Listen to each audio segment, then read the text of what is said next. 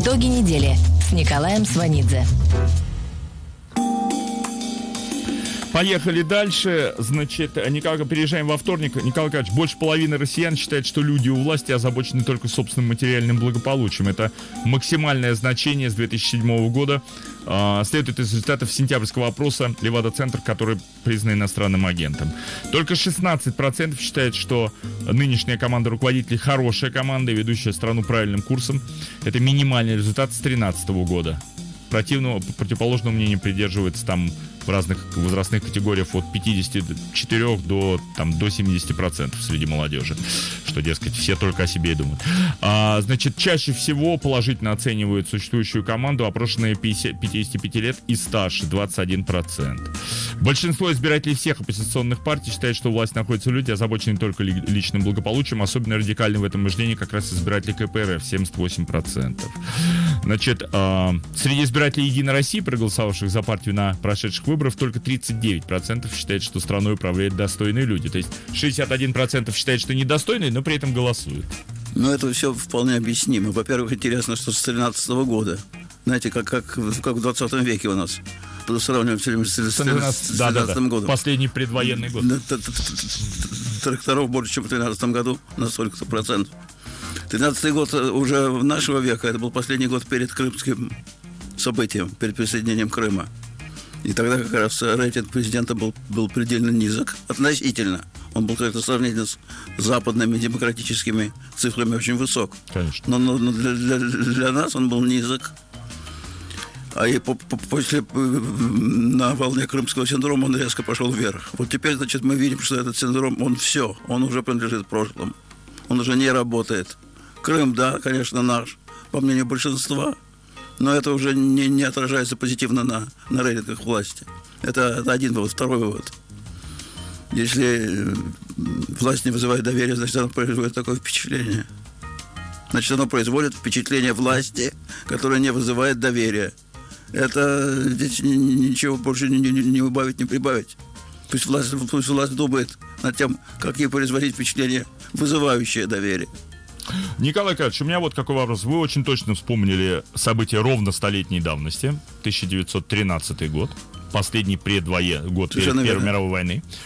С определенными перекосами, но тем не менее Россия на колоссальном подъеме, самый высокий экономический рост в мире – Тогда имеется да, да, да, да, да, да, да, да, да, мы сильно уступали Соединенным Штатам так, по объему, но тем не менее. Огромные темпы роста. Огромные. Причем по, по всем линиям, по всем линиям. Растет урбанизация, металлы. Демография потрясающая. Ой, сумасшедшая Рост промышленности потрясающий. Все точно. Причем частной промышленности. Все точно. Освоение Урала идет полным ходом. Сибирь поднимается. Сибирь поднимается. Ну, вообще шоколад. На реформах Столыпина. Столыпин, да. Культура мощнейшая серебряная серебряный век. Весь мир смотрит на нас. Абсолютно. Э, все русские сезоны балетные в Париже, э, живопись, живопись музыка, ну, поэзия, все. Поэзия, все. Серебряный век. Все просто. Все на ну, топе. Цветет и колосится.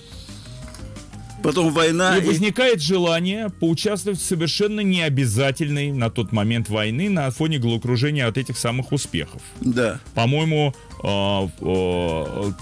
император австрийский, Австро-Венгрии писал даже Николаю II, куда ты Ники лезешь, зачем тебе это надо? Нет, нет, нет, это был, правда, не, не, не он? австрийский, а кайзер немецкий. А кайзер немецкий, немецкий кайзер. Вильгельм писал, да, да, совершенно верно. Да, да, зачем тебе это? Они же все родственники еще были. Конечно, все, все кузены, да. А мы знаем, чем это закончилось. Это закончилось столетней катастрофой для государства. Uh, да, в, в 14, uh, 1914 год газеты пишут, ну, слава богу, наконец-то война. Да, обществе... был, был офигительный патриотический подъем. Абсолютно, мы сейчас не, всему миру не, покажем. Николай был популярнейшим человеком в стране. Он вышел на балкон зим, зим, зим, зим, зим, Зимнего дворца и сказал, что мы вступаем в войну. Вся площадь упала на колени, запела «Боже, царя храни» просто в телячьем восторге. Вам не кажется, что очень большой, очень, очень сильно похожая ситуация? Тринадцатый год, а, может быть, не самый пик, но еще период высоких нефтяных цен, а, экономика сильно прибавила за 13 лет, все, нет вопросов, все прет, и мы начинаем играть в большие геополитические игры опять только чуть-чуть страна вздохнула, только пожила немножко совсем хорошо. И сразу надо показывать свое После чего, кстати, пошли годы, которые продолжаются до сих пор, снижение жизненного уровня. Ну, Он до сих пор очень высок по, по сравнению с, нашими историческими мерками. Очень высок. Но, но по, по, по сравнению с тем временем он снижается. Неуклонно снижается. Потому что пошли санкции и да, так далее. Да. То есть мы... Все это идет плата за Крым, которую мы пока что еще не осознаем, но она идет. Я бы сравнил, на самом деле, не 13-й год с, с 1913 я бы сравнил с ним нынешний год. Он больше похож. Конечно, есть, есть, есть э, конечно, так сказать, желание 13-13. А, ну, ну да, да, тут есть определенная красота цифр. Соблазн, да. Но я бы сравнил нынешний год. Вот сейчас, когда уже Крыма больше нет, как, как э, фактора подъема рейтинга власти, а нужно что-то делать. А с экономикой, с, с, с экономику править это дело, это не Крым взять. Это не, не, не лобби укушать, как говорят мои соотечественники. Это сложная штука. Это очень много менять в стороне, чтобы понять экономику. На это никто не пойдет. Значит, нужны какие-то демонстративные жесты, более простые. Да. К сожалению, к ним относится война. Маленькая победоносная война, как говорили еще в начале прошлого века. Вот это вот не исключено. Вот, вот к этому, кстати, как, как конфликт на границе белорусско-польской, к этому возможные конфликты на Украине. Вот это вот все очень пугающе выглядит. Потому что соблазн, соблазн у власти очень велик. Конвертировать международную напряженность в рост своего рейтинга. Да, и не поспоришь. Возвращаясь, кстати, к теме вот э, Э, вот такой опросу Левада-центр, который иностранный агент, значит, по поводу того, что подавляющее большинство наших соотечественников считает, что люди у власти озабочены только собственным материальным благополучием. Наверное, как люди у власти в любой стране, так в любой стране есть масса организаций механизмов, которых ограничивают в этих желаниях. У нас этих Конечно, механизмов нет. и связывают, я бы так, так сказал, их личное благополучие с благополучием страны, которой они управляют. Именно так. И там его показывать, свое личное благополучие, очень сложно. А, приходится жить как, скромно. Как, как, как, как, как, как по, по Адаму Смиту, булочник, который печет булки частный, он работает на себя, на свой карман, но он, но он при этом способствует процветанию своего отечества, кормя, кормя, кормя людей. Так вот, я почему вспомнил, э, вернулся к этому вопросу. Еще была в продолжении темы любопытная информация из вторника как раз про то, что депутат Госдумы от КПРФ Михаил Матвеев пожаловался, что для работы в парламенте ему предоставили абсолютно пустой кабинет. По словам коммуниста, депутат единорос который до него работал в кабинете после сложения вы, своих вы, полномочий, вы, вы, унес вы, из него вы, все, все, в том числе настенные панели, и даже подоконники. Нифига нет, ничего не готово. Мне сказали, что предыдущий депутат Единорос, который здесь сидел, сделал богатый ремонт, на стенах у него были какие-то панели, он вырвал даже подоконник.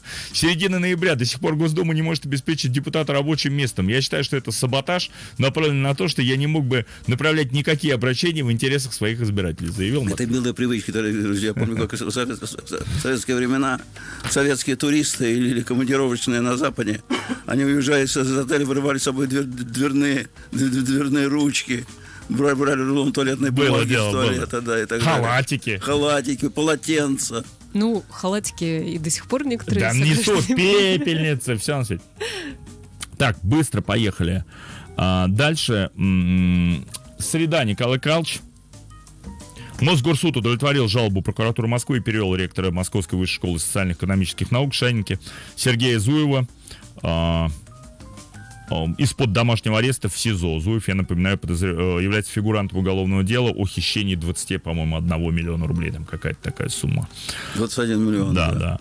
Значит, но, а... это, но это просто ему, ему, так сказать, инкриминировано абсолютно там никаких нет. Не то, что доказательств, даже серьез, серьезных каких-то доводов. Ну да, то есть Шанька предоставил, что все работы, которые были заказаны, они все выполнены абсолютно. со всеми подтверждениями. Тем не менее, э, как говорится в сообщении суда, под стражей Зуев останется до 7 декабря.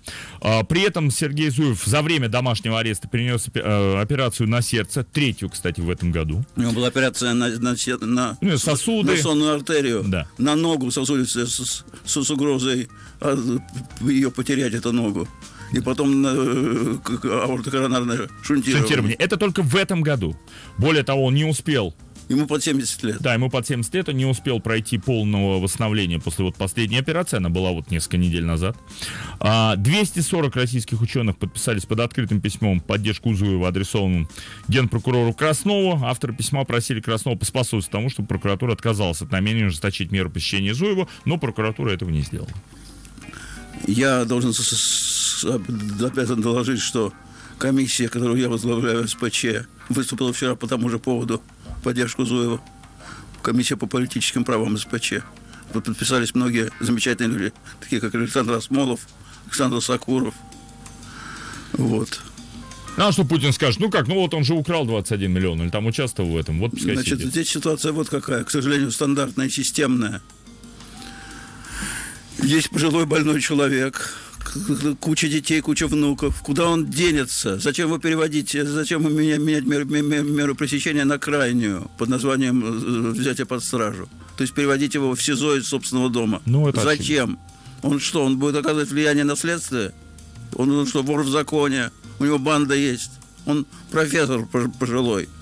Или он может сбежать, подкуп, подкуп, или сбежит куда-то он напи... с, с шундом в одной ноге и браслетом на другой, он куда-то сбежит от своих детей, своих болезней. Значит, делается по одной причине, чтобы показывать у него давление. То есть боятся не его давления на, на, на, на, на следствие, хотя тогда давление на него. Потому что в камере это, как мы с вами понимаем, гораздо проще, чем, чем в его родном доме.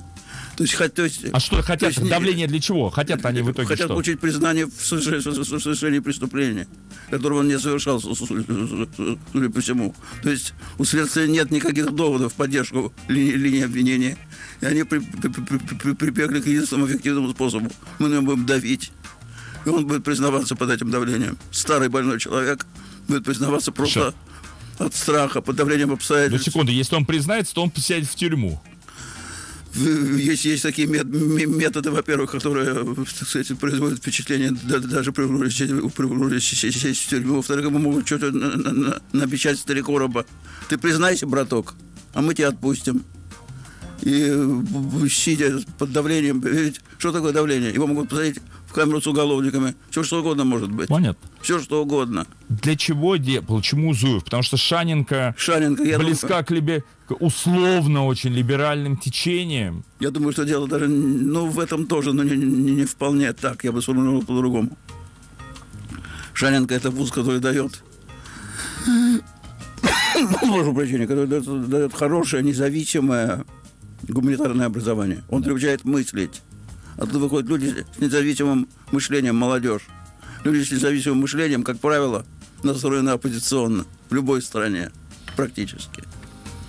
А власти не нужны оппозиционеры, власти нужны только провластно настроенные люди. Поэтому всякое гуманитарное образование хорошее, оно на самом деле во вред власти, как она считает.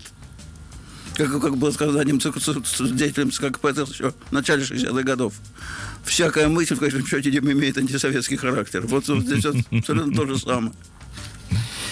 Ужасно. Как вы думаете, Ладно, не буду вас спрашивать о прогнозах по этой ситуации. Не та тема. Прогнозы дело неблагодарное, но у нас будет встреча, встреча с президентом в декабре месяце. Должна быть. И там поднимем этот вопрос. А уж какой будет результат, это другое дело. Четверг, Николай, кажется, с вашего позволения. Про мемориал мы поговорим чуть позже, а пока такая немножко отличается. Мемориал очень важная тема. Ну давайте хорошо да, тогда. Это ключевая. Как, как согласен. А, Генеральная прокуратура Российской Федерации, все та же Красновская, в четверг направила иск о ликвидации правозащитного центра «Мемориал», старейшей правозащитной организации в России, с 87 года она существует, значит, а, которая признана иноагентом уже довольно давно. Так вот, а, согласно официальному заявлению прокуратуры, иск будет рассмотрен Верховным судом 25 ноября. В вину мемориалу вменяется систематическое нарушение закона об иностранных агентах. В случае, если иск будет удовлетворен, деятельность центра официально окажется вне закона. Значит, о чем идет речь? Что, им, что нарушали? Что им инкриминируется? Что они не, не маркировались как иностранный агент на всех своих материалах. У них тысячи материалов. Значит, им по каждому материалу, который не, не маркирован, им предъявлялся иск и штраф. Они все штрафы платили. Уже, три, уже по-моему, 13 месяцев или 14. И к ним вообще нет никаких претензий. Все, все уплочено. Теперь мне говорят, ребята, вы знаете, вы, конечно, штраф платили, но вы настолько злостно нарушали законы, что мы решали, что мы вас мало наказали. Мало того, что мало, мало штрафа, мы хотим теперь вообще на свалку историю отправить. Вот о чем идет речь. То есть речь идет о повторном наказании за одно и то же в кавычках преступление. Да. За одно и то же. Они, конечно, в, слов, в сложном положении весьма. Потому что я напоминаю, что это действительно старейшая общественная организация в России. Ее основал Андрей Дмитриевич Сахаров. Она очень авторитетна в мире, очень авторитетна. То есть это такой выстрел в ногу будет, конечно, если уничтожит. Просто даже страшно подумать. Это все равно, что не знаю. Для многих людей это все равно, что не знаю, внести Сталина обратно в мавзолей. Вот примерно, примерно акция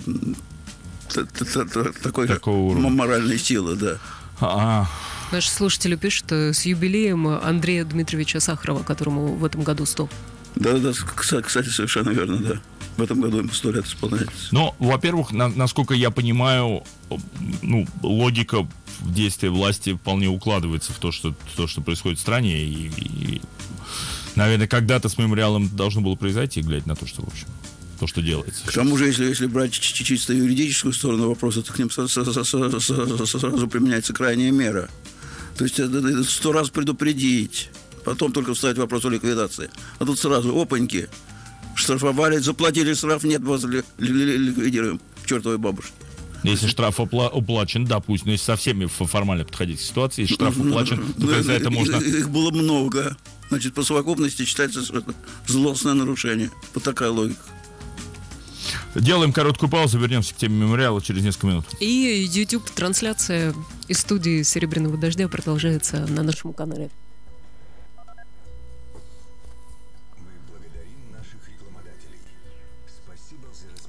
Да, Николай Карлович. Вот все и заканчивается. Ну, в общем, да. Пришла коза к возу. Ну, Николай Карлович, смотрите, я думаю, что мемориал же продолжит все-таки работать, просто очевидно будет... Ой, Вы понимаете, сложно, сложно, сложно сказать, как, как, как, как, как он продолжит, если его лишат юрлица, если его лишат по суду возможности существовать вообще. Независимо, кстати, по суду, это значит, что независимо от госрегистрации. Его могут лишить архива. Как он будет работать? А лишить архива? Ну, лицо значит? можно юридическое новое. В... Э, да, да, тут дело не, не в лице, как он работать будет. Это... Ну, допустим, можно сделать организацию, которая будет совершенно по-другому называться, заниматься тем же, чем занималась, но это будет... И, и, и, да? название другое, а название это бренд архива не будет. Но, в общем, это, я бы сказал, мягко, до крайности усложнит работу. Слушатели спрашивают еще по ГУЛАГу, ведь что, что? Да, да, да, я сейчас, да, да, да, да. Сейчас мы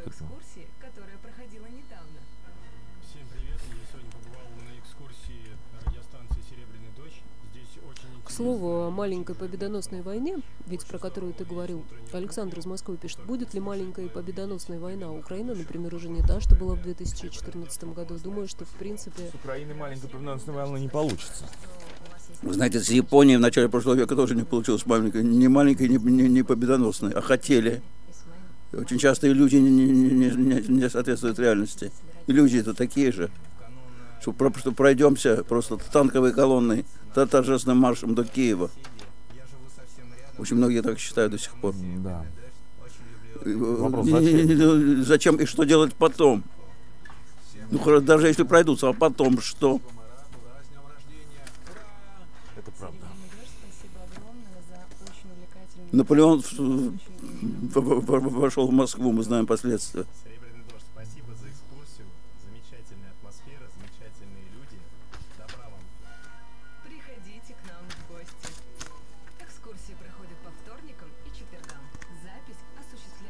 Ненавидящий 40-миллионный народ. Что там будем делать?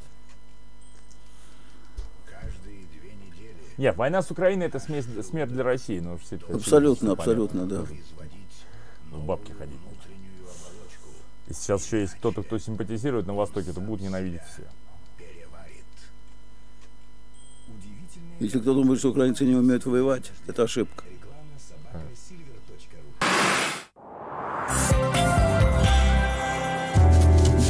Итоги недели с Николаем Сванидзе. Кстати говоря. Извините, мы тут за эфиром просто обсуждаем ну, в YouTube, в YouTube, в YouTube. Наши слушатели спросили, что маленькая победоносная да. война вообще ни с кем сейчас не получится. Да. Украина совсем не та, как, которая была в 2014 Показывает практика Вьетнама, Афганистана, Сирии. Вообще все маленькие победоносные войны оказываются не маленькими и совсем не, не, не победоносными. Ну и в конечном счете приведет к гибели России. Это очевидно совершенно история с Украиной. Нас и так там уже и на Востоке не очень любят, а ну, понятно, да. да. Не будем э, э, грустным, никак, все-таки вернемся к, э, к мемориалу. К мемориалу. Вы много говорили в своих интервью, комментируете ситуацию о там, серьезной международной репутации этой организации. А мне просто если мы говорим о том, что происходит внутри страны, какая разница, какая международная репутация? У нас и так уже, в общем, международной репутации нет.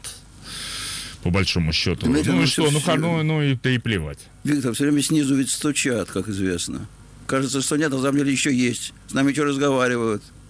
С Путиным разговаривают. Ведь э, превращаться в Лукашенко. Это нам надо?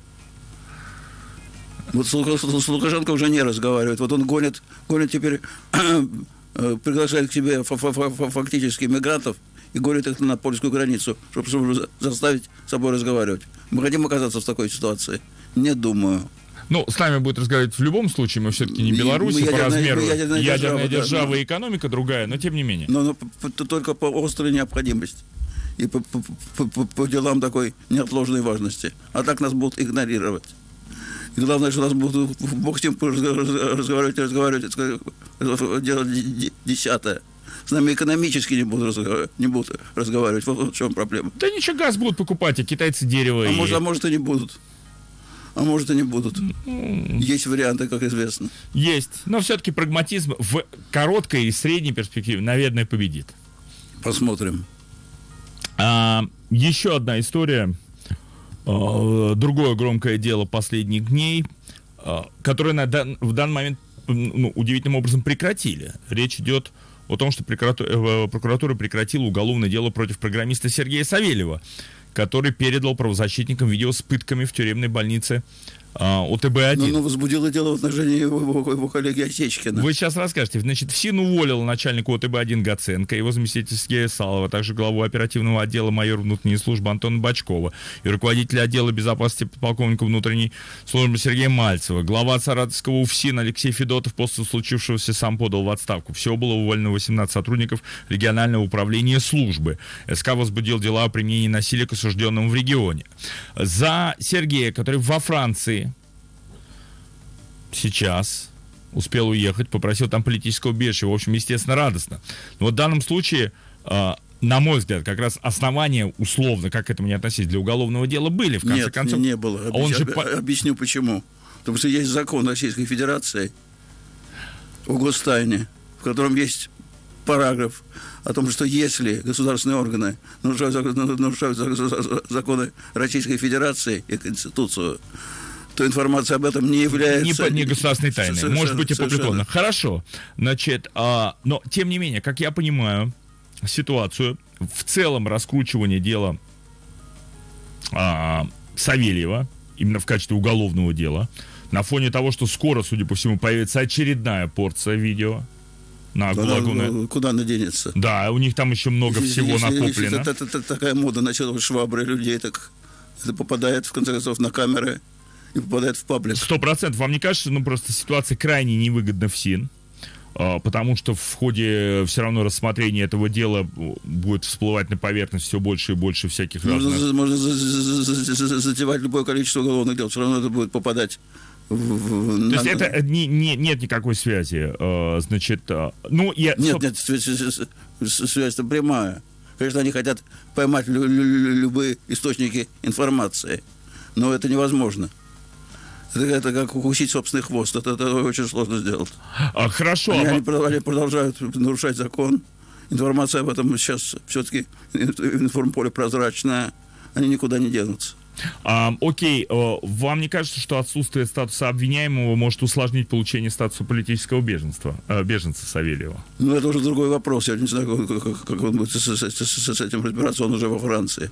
Во всяком случае. Так или иначе, я думаю, он свой- свой- свой- свои проблемы решит. Меня больше интересуют наши проблемы. Общие, а не проблемы Савельева. Меня, интересует- меня, при всем уважении к, к тому, что он сделал.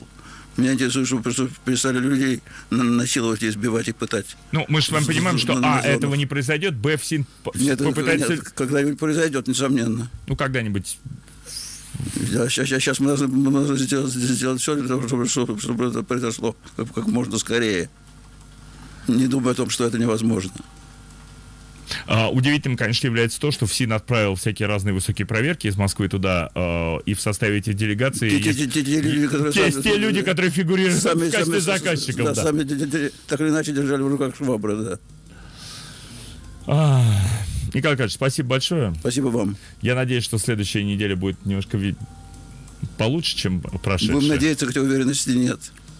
Все- всем здоровья, друзья. Согласен. Хороших выходных, ребята. Пока. Мариша, целую. До понедельника с Николаем Карловичем прощаемся до следующей пятницы. Счастливо, дорогая. Пока. И пересмотреть э, эфир утренний можно на нашем YouTube-канале. Заходите, подписывайтесь, э, комментируйте.